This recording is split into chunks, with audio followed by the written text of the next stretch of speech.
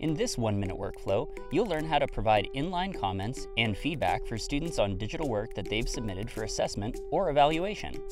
To begin, click on the Assignments tool. Select the assignment folder that contains work to be assessed or evaluated and click on Evaluate. Select the document that the student has submitted for assessment or evaluation, and the editor will open. Using the editor, you can use the pen tool to mark on the document or the highlighter tool to highlight specific areas. You can also use the Notes tool to record notes for the student. The text box and the symbol tool can be used to provide additional information on the student's work.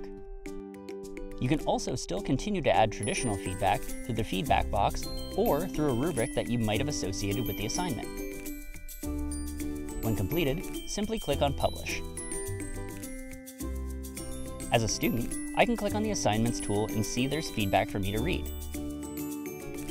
If I select View Inline Feedback, I'm able to see the annotations that the educator has left for me, including their typed comments.